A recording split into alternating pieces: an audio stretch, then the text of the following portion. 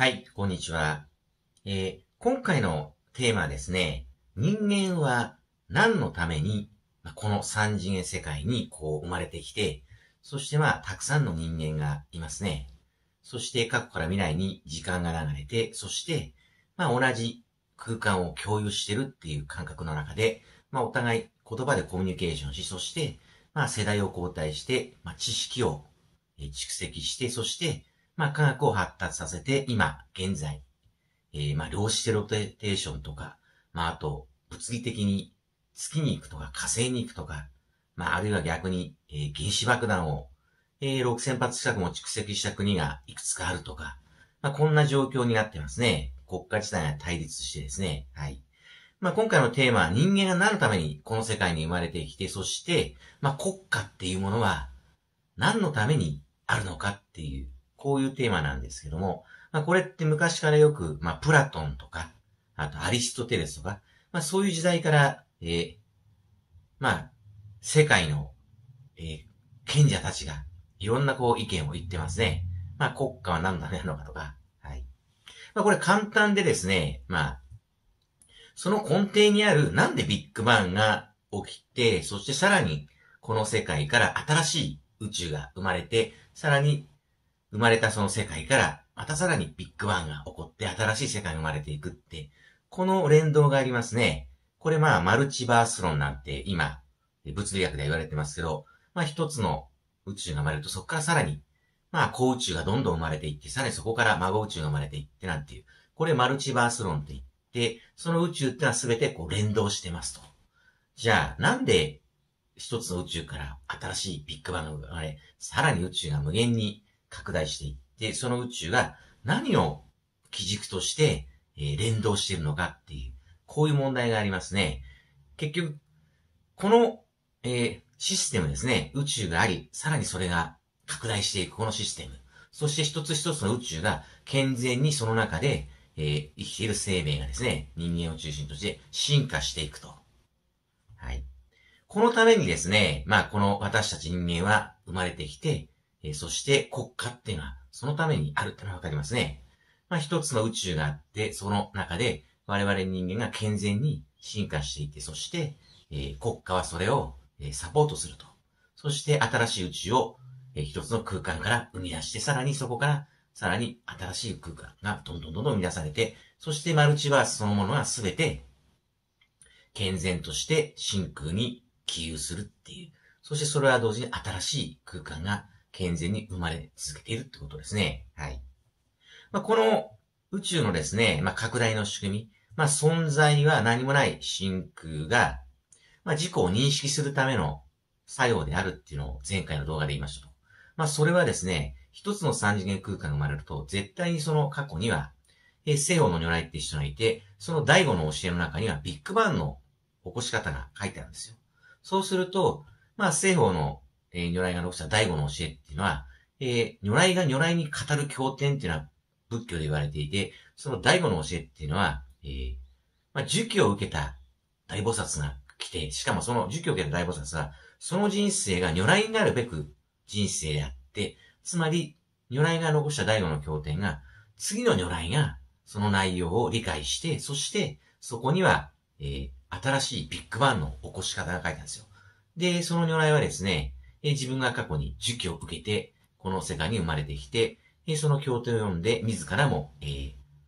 儒教を授けることが仕事であるということを理解するんですよ。そして、その次の如来は、それを理解して、そして弟子を取って、下脱させて何もない真空の状態を作って、そこに、まあ、儒記っていうのは、一つの命令で、まあ、それは次に自分がビッグバンを起こしてその世界で自分も如来になりますと。そしてその世界にいる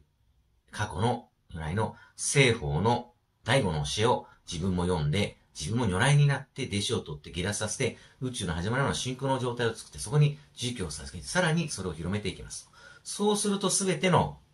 生きとし生ける人間、まあさらには、えー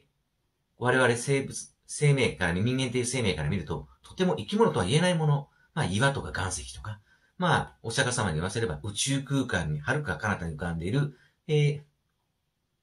かけらですね。そういうものまでも最終的には如来になるっていう命を吹き込まれ知性を持ち、如来になるっていう。そしてすべてのものが、え、如来になって、真空は完成すると。こういう、えー、宇宙のメカニズムが、存在のメカニズムがあるんですよ。真空の中にはこのようにですね、各空間の中には如来がいて、そして5番目の推しを残して、えー、そして時期を授けると、またビッグバンとして生まれてきて、その世界にある如来の第五の教えに気がついて、まあそれで自分も如来になって、弟子を下脱させて、真空の状態を作って、そして時期をさせることによって、ビッグバンを起こし続けると。で、それは最終的には全ての生きとし生けるもの。まあ、草や虫や、えー、風の分子とか、さらには山や川とか、さらには岩とか、えー、石とか、砂粒とか、まあ全ての生命が最終的には如来になるって。そして、真空とは何かを悟るっていう。それが完成した対称性の宇宙なんですよ。はい。ですから我々人間っていうのは一人一人がこの世界に生まれたらまず、えー、如来を見つけて、えー、儒教を授けてもらうと。そして自分もビッグバンを起こして他の世界に行ったら、如来の第五の経典があるんで、それを読んで自分も如来になって、